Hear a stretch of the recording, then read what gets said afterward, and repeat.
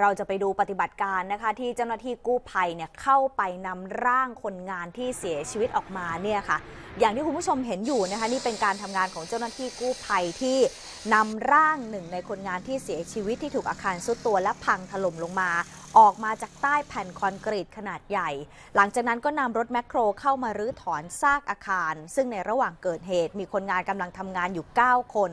ล่าสุดช่วยเหลือออกมาได้แล้ว 2 คนนำตัวส่งโรงพยาบาลไปแล้วนะคะ และอย่างที่เมื่อสักครู่เรียนไปว่าสามารถกู้ร่างคนงานที่เสียชีวิตออกมาได้อีก 3 คนแล้วเช่นกันค่ะ อาคารนี้เนี่ยนะคะกำลังก่อสร้างเป็นอาคารสำนักงานของปั๊มน้ำมันแห่งหนึ่งค่ะ อยู่บริเวณริมถนนเทพกษัตรี พื้นที่หมู่หนึ่งตำบลศรีสุนทรอำเภอถลางจังหวัดภูเก็ต ใกล้ๆกับโฮมโปรสาขาถลาง เบื้องต้นสาเหตุเนี่ยคาดว่าอาจจะมาจากเสารับน้ำหนักไม่ไหว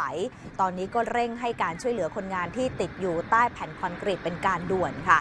ตำรวจสถานีตำรวจภูธรเมืองถลางก็ได้รับแจ้งเหตุนี้นะคะ เมื่อเวลาประมาณ 11 นาฬิกา 40 นาที จากนั้นก็ประสานแล้วก็ร่วมมาร่วมมือกับทุกหน่วยงานที่เกี่ยวข้องเข้าไปปฏิบัติการกู้ภัยครั้งนี้ค่ะ